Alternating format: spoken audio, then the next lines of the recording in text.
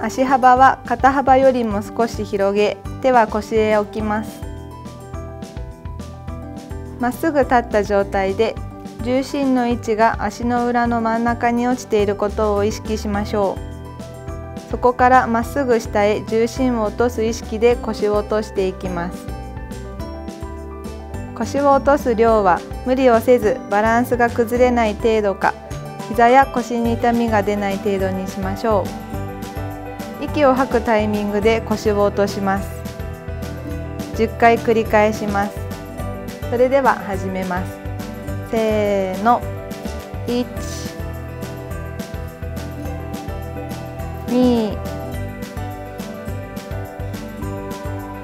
3 4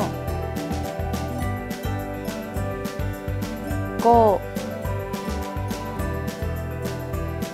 6 7 8 9 10家事の合間やお子さんと一緒に行ってみてください。